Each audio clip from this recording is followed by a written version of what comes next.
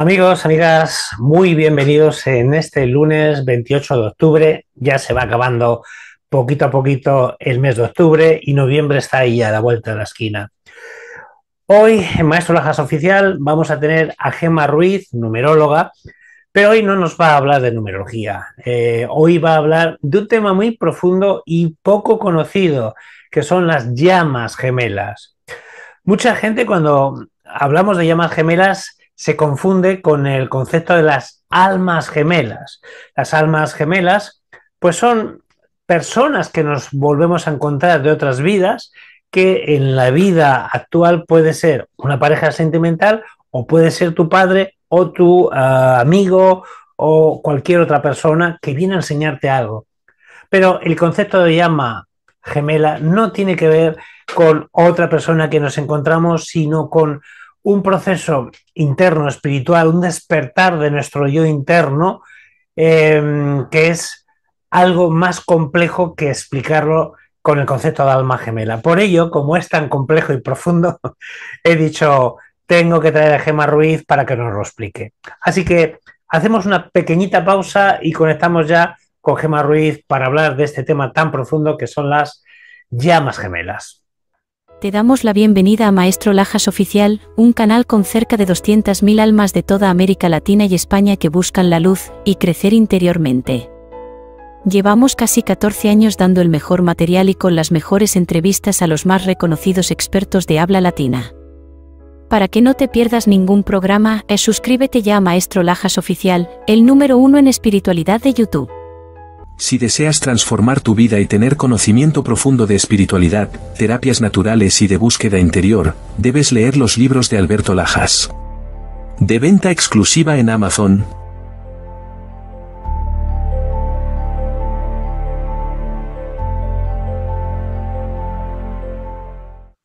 Bueno amigos, pues después de esa pequeñita pausa ya estamos aquí de vuelta con Gema Ruiz, que nos va a hablar de las llamas gemelas. Gema, ¿cómo estás? ¿Cuánto tiempo? Hola, ¿qué tal? Encantada de volver a verte. Bueno, la última vez que estuviste aquí nos hablaste de numerología, porque Gema es numeróloga. Pero hoy nos vas a hablar de las llamas gemelas. Oye, Gema, siempre que hablamos de llamas gemelas, la gente a veces lo confunde con almas gemelas. La primera pregunta sería, ¿almas gemelas, llamas gemelas, es lo mismo? Claro, no, no es lo mismo, ni mucho menos ni mucho menos. Es verdad que yo también al principio, cuando empecé con todo esto, decía, bueno, almas o llamas gemelas, que no, que para nada, ¿no? Eh, para nada, porque el alma gemela es un encuentro, se diría, como mucho más amable, es un encuentro más amoroso, es un encuentro como muy de eh, bueno, de una mitad, aunque nunca somos una mitad, ¿no? Pero es, más, eh, nos une ahí como, como un, proyecto más amoroso, de cooperación, también un poco como de, em, de apoyo. Fíjate que las almas gemelas son más como de apoyo emocional, de apoyo, eh, porque de hecho a veces es que no son ni siquiera parejas, son, son más amistades o familia puede ser una relación afectiva, amorosa, pero es, es amable, es tranquila, es más, eh, fluye más, ¿no? O sea, no hay, hay unos conflictos, ¿no? Que se despierten y demás. ¿no? Entonces, la llama gemela, ¿qué sería? Ah, es que la llama gemela es una cosa muy fuerte, ¿eh? es algo muy fuerte. Eh, la llama gemela, em, en realidad, mm, si empezamos ya casi resumiendo un poco el tema, en realidad una, eh, una llama gemela, bueno, se dice que es como eh, tu misma alma dividida en dos. En el origen, pues como que se divide en dos. Entonces es tu otra parte. Eh, doble cuántico que llaman algunos. ¿Cómo lo llamas? algunos lo llaman doble cuántico, ¿puede ser? No me atrevo a decirte esto, porque eso fíjate que no lo sé. no lo sé, Vale. pero es como si fuera una mitad tuya, ¿no? Pero mitad, no porque tú seas menos o seas esa mitad, tú estás entero, pero es como un doble, sí, efectivamente puede ser como un doble, como... Claro, ¿qué pasa? Que yo lo que, lo que me he dado cuenta es que en realidad eh, cuando tú te encuentras con, con esa llama gemela, en realidad no, no le podemos poner ese, ese punto romántico que puede tener las almas gemelas. No, lo, no tiene exactamente ese punto eh, romántico, ujú, porque para empezar, es muy probable que cuando te encuentres con una llama gemela estés en un proceso de crisis impresionante, en ujú, un proceso de crisis personal muy, muy serio y muy profundo. ¿Vale? Eh, eh, decimos y se, se dice que puedes estar en la máxima separación de ti mismo, mm, de Dios o de la energía o de los demás, porque estás, eh, digamos, en un momento en el que yo digo que es un poco como, como que estoy con el dedo acusador, ¿no? Es decir, que mi ego está a tope, porque tú, tú, tú, porque tú me has hecho, porque tú me has dicho, porque si no fuera por esta situación, si no fuera por esto, ujú, entonces no estoy, eh, no estoy conmigo, estoy totalmente como fuera de mí en un, eh, eh, en una situación dolorosa, por supuesto, una situación personal dolorosa, por eso estamos en una crisis, y busco fuera, busco fuera, pero no estoy reflexionando dentro. Yo digo que el encuentro se puede dar en ese momento, entre otros momentos, pero La ese es muy importante. la llama gemela sería nuestro yo verdadero despertando. Claro, la llama gemela lo que te va a hacer es ayudarte a quererte. Mi yo despertando, sí, es, eh, es un despertador. Me llama gemela es un despertador, pero ¿de qué? De que yo no voy bien, ujú, de que a mí me falta amor de mí hacia mí, ujú, de que estoy separada. Y ujú, digo separada en este sentimiento doloroso de separación de los demás. Es decir, que estoy con el ego a tope. El ego, pensamientos, creencias, mm, ahí estoy eh, muy separada. Y la llama gemela viene a que todo eso entre en acción, salga y lo pueda ver. Por lo menos lo pueda ver. ¿Cómo, cómo se empieza a manifestar esto? Porque claro, lo que digo, como hay ese lío todavía, porque de hecho el otro día cuando yo anuncié esto, eh, alguien me dijo por WhatsApp, ah, que va a hablar de las almas gemelas. Por eso es normal, normal. importante, Gemma, es importante entender este, este, mm, este concepto. ¿Cómo se empieza a manifestar eh, esa alma gemela o ese despertar del alma gemela? ¿Qué, qué, qué síntomas vemos? Esa llama gemela.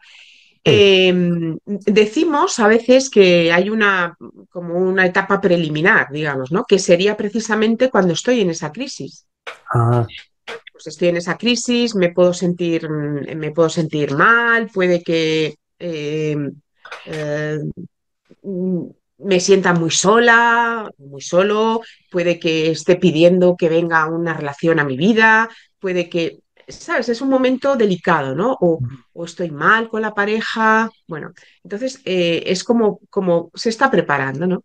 Después decimos que hay un encuentro, claro, hay el momento en el que tú te encuentras con la llama gemela y, claro, en realidad hay tanta necesidad amorosa y afectiva dentro, hay tanta necesidad de amor porque estoy en una crisis, me siento separado, no me siento querida o querido. Entonces hay tanta necesidad que lo que decimos es que hay como una proyección muy grande de esa necesidad. Entonces la, la proyecto ahí fuera y es como que saltan chispas. Está la burbuja del amor, ¿no? Es un encuentro en el que, mmm, bueno, verdaderamente es asombroso. O sea, es un encuentro como ¿esto qué es? ¿Cómo puedo sentir esto? Esto no lo había sentido nunca. Eh, se siente... mm, Es una apertura de conciencia, no a diferencia de las almas gemelas, que puedes encontrarte con alguien que puede ser tu padre, tu pareja o quien sea, y te puede ayudar en tu proceso, aquí no te encuentras con nadie, sino contigo mismo, con tu apertura de conciencia, es lo que te estoy entendiendo. Sí, te, te- te- te- efectivamente te encuentras, eh, eh, es que todo eso sucede en ti, pero claro, a través del otro. Entonces, en esa persona que se proyecta o qué sucede en ese, en ese encuentro, Eh, sucede que es algo como que no es fácil de describir con palabras. Eh, casi, casi no sabes si compartirlo con alguien porque es que es un poco inexplicable. porque sientes un amor en el corazón enorme, se expande, se puede expandir el corazón. Se dice incluso que como que la kundalini se, se abre, es decir, un- una, una apertura, una conexión, incluso a veces hasta pues, una sincronicidad eh, en, en la forma de encontrarte. Puede que sea alguien que viene del pasado, que ya conoces, también podría ser alguien que viene de hace mucho tiempo pero que vuelve eh, a tu vida, eh, es algo como muy disparatado, muy fuerte, muy intenso, es de una intensidad in- muy, muy grande, según, según describen también lo- los autores. Eh, entonces es tan fuerte, es tan intenso, que es que no sabes lo que es, porque claro, te está desbordando un poco, pero este amor no lo he sentido. Es un amor casi espiritual, ¿eh? en mm. realidad. O sea, no, mm, que puede ser también de deseo físico, pero también es un amor como muy espiritual que te puede como despistar. Es casi como si estuvieras teniendo una, una experiencia mística o espiritual, ¿no? Y la, la presencia de la llama gemela en la vida de uno es algo espontáneo que aparece así o uno puede buscarlo de alguna manera, hacer que ocurra. Bueno, yo creo que es algo espontáneo que tiene que ver con, eh, con una serie de, de- de- de energías que están, que están a tu alrededor moviéndose Pero es verdad que decimos que cuando estás en ese momento personal, que sabes que algo no va bien y ya a lo mejor estás pidiendo, ¿no? Es, sucede mucho, a lo mejor tú puedes movilizar mucho esa energía porque estás pidiendo. Lo que mm, pasa es que estás pidiendo algo que no te va a traer la llama gemela. Es decir, estás pidiendo, pues a lo mejor que me quieran, eh, yo, yo, yo quiero que me quieran una relación estable o una relación amorosa o, o necesito amor, en fin, puedo estar pidiendo o quiero pedir un poco de aclaración en mi vida, ¿no? De luz. Eh, sí, ahí sí que puedes estar moviendo la energía hacia, ti, hacia ti. Eh, o porque estás entrando en un proceso mm, espiritual determinado, con determinadas enseñanzas o prácticas, ¿no? Como puede ser, pues, a lo mejor meditación o mindfulness, especialmente más hacia la presencia, o a lo mejor estoy en una etapa estudiando determinadas eh, religiones o eh, tema, temas altos, ¿eh? Temas un poco espirituales. Lo que me preocupa es el ego, porque el ego a veces juega con nosotros y nos hace creer que estamos experimentando tal cosa cual, o otra cosa, ¿no? ¿Cómo diferenciar cuando el ego nos está engañando o realmente está despertando esa llama gemela o estamos encontrando de verdad esa llama gemela? Ahí es donde veo yo la dificultad, Gemma. Mira, cuando estás en el momento este de conexión, que decimos que es como la burbuja del amor, que es el encuentro, Mm, Ahí eh, el ego está al 100% en cuanto a que no eres capaz de distinguir. Es decir, ujú, lo que estás viviendo lo estás viviendo, lo sientes como plenamente real, eh, según describen, lo sientes plenamente real, esa, esa Kundalini se ha despertado, ese amor es enorme, esa parte casi espiritual la sientes donde verdaderamente sabes que algo no funciona es porque de pronto, igual que has tocado el cielo, puedes tocar el infierno en un segundo. Ahí ya el ego se destapa. O sea, quieres decir que llegará un momento en el que la persona tendrá claridad y conciencia de eso que está experimentando, que realmente es su, su llama gemela eh, en su vida, ¿no? Eh, Entiendo eso. Sí, llega un momento en el que uno mm, debe plantearse cómo es posible. Bueno, es, es inexplicable que puedas pasar del cielo al infierno. ¿El infierno qué, qué significa en este caso, no? Pues sería que el ego, ambos egos están en el momento álgido. Es lo que llaman la, la etapa como de la, de la batalla de, de los egos, ¿sabes? De la batalla de egos, ¿no?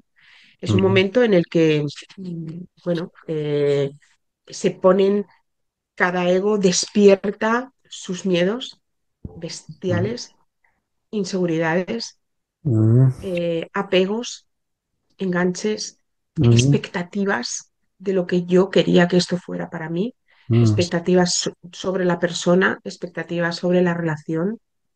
eh, eh, mío, ego, pues mío, tú me tienes que dar a mí y tú tienes que ser como yo quiera en este momento. Y lo que no, lo que no se puede entender en ese momento es que cada, cada gemelo está en un proceso personal diferente. Ujú, y a lo mejor uno no puede cumplir las necesidades del otro ni el otro las del uno. Entonces ahí empieza la posesión, los celos em, y bueno, y incluso, sobre todo yo digo mucho que es como que hay una, mm, eh, una gran capacidad entre los gemelos para abrirse la herida, la herida emocional, herida personal que a lo mejor está todavía sin trabajar. Y entonces a lo mejor es un sentimiento de abandono o es un sentimiento de que no me quieren lo suficiente o que me manipulan ¿eh? o que me utilizan que mm, de pronto me están engañando. Y, nada más lejos, porque en realidad ninguna de las dos partes tiene esa intención oscura, ujú, pero a lo mejor las circunstancias se dan de tal forma que la persona, las personas no están preparadas, todavía no es el momento de ese encuentro. ujú, Eso si se vive desde el ego, se vive ahí, en ese momento de batalla, se llama la batalla de los egos, eh, y mucho dolor.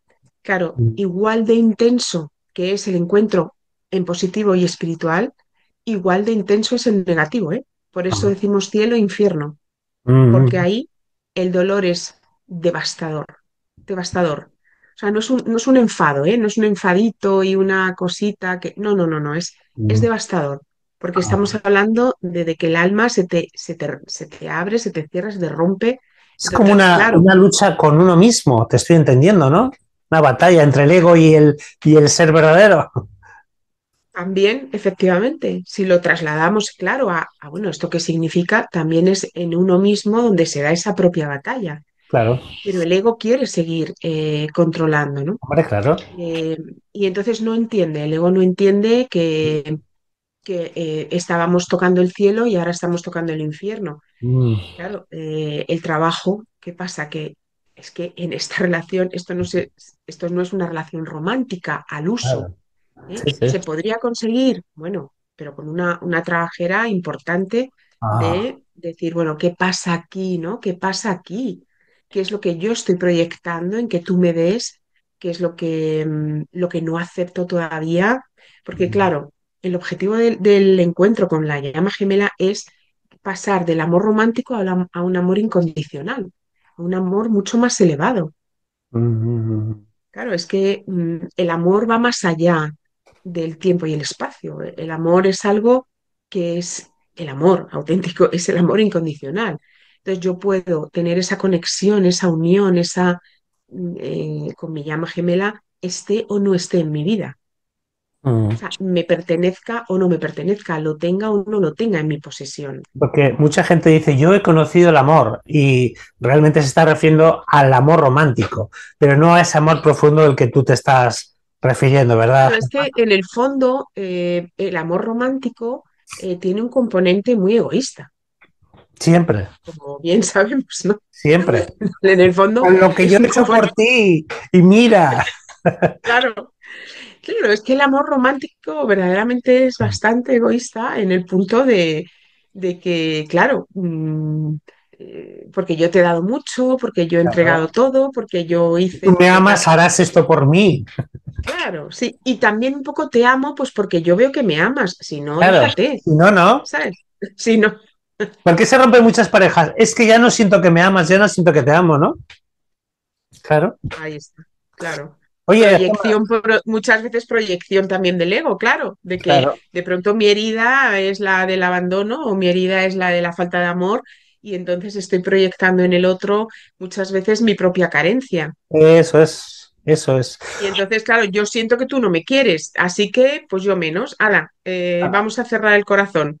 Claro, esto en las llamas gemelas no, no puede funcionar y si funciona, es, es, devastador. O sea, no es una, una, bronca, ¿sabes? No, no, es devastador, es algo. Entonces, claro, requiere mucho trabajo de eh, precisamente de autoconocimiento también, ¿no? Y de, trabajar esas partes. ¿no? Oye, Gemma, se me está ocurriendo que como tú eres numeróloga, eh, se me ocurre o pregunto, ¿es posible desde la numerología ver si la persona que acuda a ti está mm, ya despertando su llama? O te lo pregunto de otra manera, ¿desde la numerología se puede ayudar a una persona a despertar su llama gemela?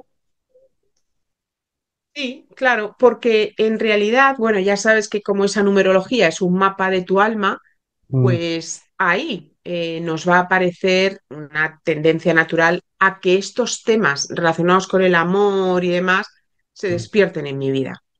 Claro, y además a partir de ahí tú puedes, em, bueno, pues ver qué pasos hay que dar, ¿no? ¿Cuál es el trabajo? Es verdad que cada vez hay que concretar más en el trabajo personal, mm. ¿sabes? Tanto porque lo pregunto por numerología, tanto porque estoy pasando un conflicto de pareja.